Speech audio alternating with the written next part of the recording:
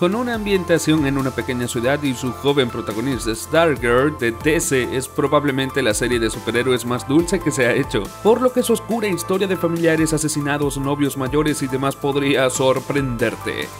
Desde que fue presentada como la nueva Star Spangled Cat en Stars and Stripe número 0 de 1999, Courtney Whitemore ha sido tratada con mucho cariño por sus creadores. Esto se debe a que su guionista Jeff Jones basó la personalidad, el aspecto y el nombre de Courtney en su hermana Courtney Jones. En varias entrevistas sobre Stargirl, Jones habló del espíritu y la energía optimista de la Courtney real que quería devolver al mundo con Stargirl. Trágicamente, Courtney Jones murió en el vuelo 800 de TWA en 1996.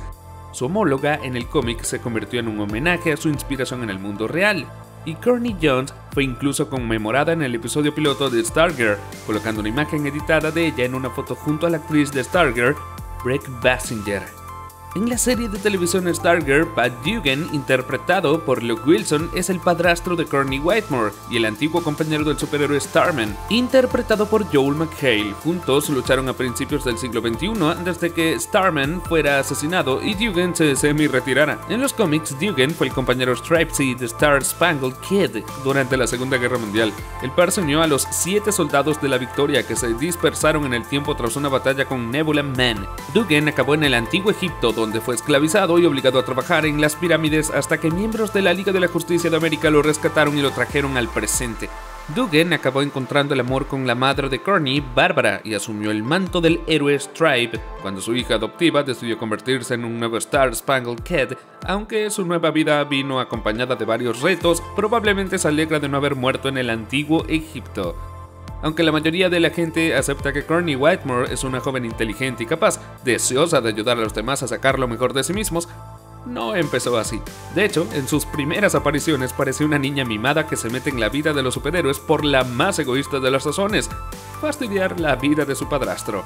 En la serie original Stars and Stripe, Courtney descubre el equipo original de Star Spangled Kid entre las pertenencias de su padrastro y lo utiliza para crear su propia versión del traje de Star Spangled Kid, y enseguida empieza a meterse en problemas. Courtney incluso intenta utilizar su conocimiento del pasado de Dugan para que su madre lo deje.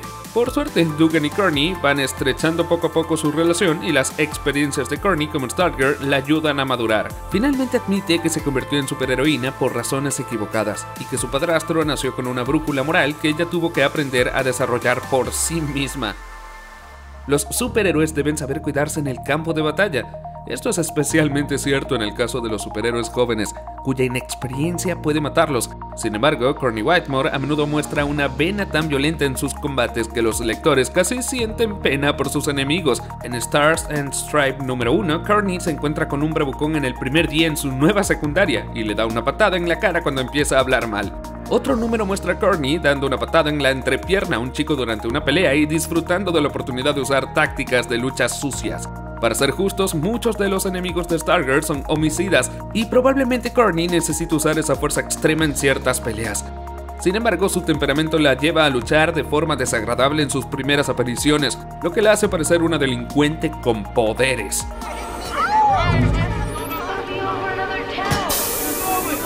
Hey, somebody's messing with your car.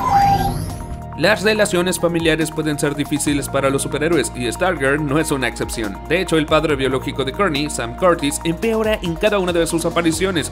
En una escena de Stars and Stripe número 14, que fue adaptada para la serie de televisión, Sam se presenta en la casa de Courtney en su cumpleaños y la manipula por un valioso medallón, alegando que necesita ayudar a un hermano existente. Aunque Courtney se da cuenta de eso, le entrega el medallón de todos modos, destrozada por la crueldad egoísta de su padre. Más tarde, Courtney descubre que Sam se unió al grupo de supervillanos Banda de la Escalera Real bajo el alias de Two of Clubs. Durante la historia de Crisis Infinitas, le informan de que Sam está muerto y decide que no quiere perder el tiempo odiando a un hombre muerto que nunca se reformó.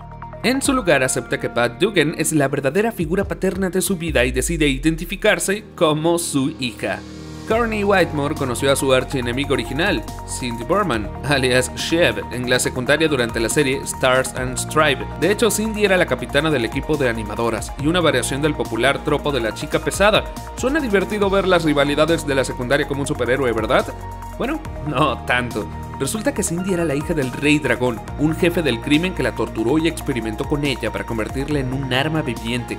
A pesar de las súplicas de Cindy, el Rey Dragón le instalaba regularmente implantes cibernéticos, a menudo sin anestesia.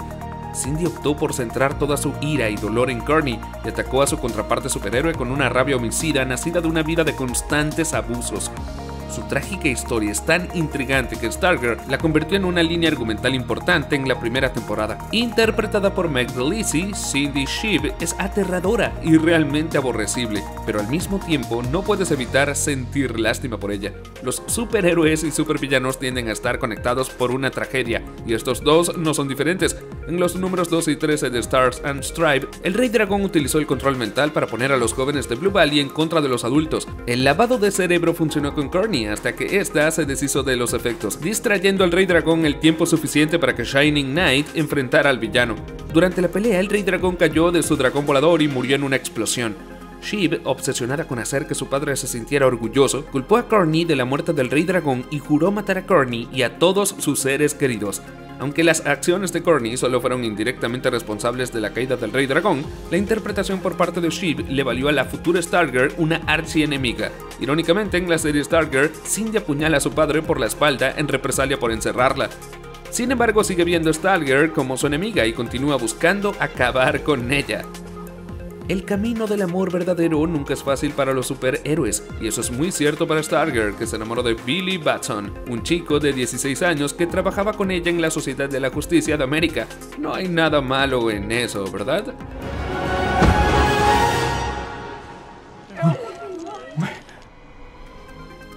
Bueno, no del todo. Como saben los fans de la película Shazam, Billy Batson es el alter ego adolescente del superhéroe Shazam, o Capitán Marvel, como se le conocía en aquella época, que parece tener unos 20 o 30 años. Esto hizo que pareciera que el Capitán Marvel coqueteaba con una menor de edad estando en la Sociedad de la Justicia de América, aunque solo salieron en realidad cuando Billy era adolescente, el resto de la sociedad, que desconocía la identidad del Capitán Marvel, le llamó la atención por la naturaleza aparentemente inapropiada de su relación. El primer gran romance de Stargirl pudo ser duro, pero el segundo fue francamente trágico. Tras la marcha de Billy Batson, Courtney empezó a sentir algo por Albert Rothstein, alias Atom Smashers, al acabó correspondiendo, pero más tarde cayó bajo la influencia de Black Adam, que le convenció para que invadiera el país oprimido de Kandak y matara a su presidente dictador, lo que le puso en conflicto con la SJA. En la batalla subsiguiente, Al se sacrifica para salvar al pueblo de Kandak del espectro, pero un angustiado Black Adam es capaz de revivirlo inmediatamente. De vuelta a casa, Al es juzgado y se declara culpable, pero Kearney, que nunca se rinde, le promete que estará a su lado cuando salga. Para complicar las cosas, hay una diferencia de edad real entre Corny y Albert. Aunque eso no parece importar en un futuro posible en el que una Corny adulta esté casada con Albert, el público también puede esperar a ver a Noah Centineo interpretando a Atom Smashers en la película del 2022 Black Adam junto a Dwayne La Roca Johnson como Black Adam, aunque considerando su historia en los cómics, esto podría no ser tan bueno para Atom Smashers. El núcleo del atractivo de Stargirl es su increíble dinámica familiar. Pocos compañeros son mayores que el héroe principal, pero la relación de Stripe con Stargirl es especial porque Pat Dugan es el padrastro de Corny y se convirtió en superhéroe para apoyarla y cuidarla. De hecho, Corny ve a su familia como la inspiración para sus actividades de superheroína. Por eso fue tan traumático para ella verlos a todos muertos ante sus ojos. Esto ocurrió en SJA número 68, cuando la Morgue Roja retrocedió en el tiempo y masacró a toda la familia de Corny mientras desayunaban. Por suerte, el maestro del tiempo, Rip Hunter, llegó para salvar a Corny. Rip ayudó a reunir un equipo de la SJA para viajar en el tiempo para borrar los acontecimientos que condujeron al asesinato de la familia Duggan, Whitemore y arreglar las cosas. Salvar el universo y llevar una doble vida puede ser duro para la salud mental, pero una aventurera vio a Stargirl aterrizar literalmente en un manicomio. Durante los eventos de la venganza negra, Carney viajó al pasado para borrar los acontecimientos que llevaron al asesinato de su familia. La misión de Corny era viajar al año 1951 y reclutar a Death Knight, el Starman original, pero este estaba internado en un manicomio en ese momento. Antes de convencerle de que no era una alucinación por las drogas, los celadores la descubrieron y la drogaron, le pusieron una camisa de fuerza y la metieron en una celda acolchada. Por suerte, en el número 70 de la SJA, Patricia, la hermana de Courtney, que viajaba en el tiempo, la liberó. Aunque su estancia como paciente fue breve, es probable que siga siendo una mancha oscura para Courtney sobre cómo algunos ven a los superhéroes. A pesar de llevar una máscara, mucha gente sabe que Courtney, Whitemore y Stargirl son la misma persona. Su familia, toda la sociedad de la justicia de América e incluso varios de sus villanos conocen la identidad de Stargirl. Resulta que gran parte de eso se debe a un descuido de Courtney. Una vez expuso su identidad a su amiga Mary en la noche de su primera aventura como Star Spangled Cat. A veces, el hecho de que todo el mundo sepa que Courtney es Stargirl se utiliza como efecto cómico, como cuando la SJA visita a Courtney en el dentista. Otras veces, los guionistas recuerdan a los lectores que la razón de la identidad secreta era para que los villanos no vayan tras los seres queridos del héroe, algo que le ocurre a Stargirl. I put all of us in so much danger because I believed in some fairy tale. En los números 10 a 12 de la Liga de la Justicia, Courtney entra en el radar de Shadow Thief. Unos números más tarde, el villano sigue a la familia de Courtney, hiera a su madre y mata a su hermano menor. Aunque la experiencia le ayuda a ser una mejor superheroína, el costo es extremadamente alto y extremadamente oscuro. Mira uno de nuestros videos más recientes aquí, además más videos de Looper sobre tus series favoritas vendrán muy pronto. Suscríbete a nuestro canal de YouTube y activa la campanita para que no te pierdas de nada.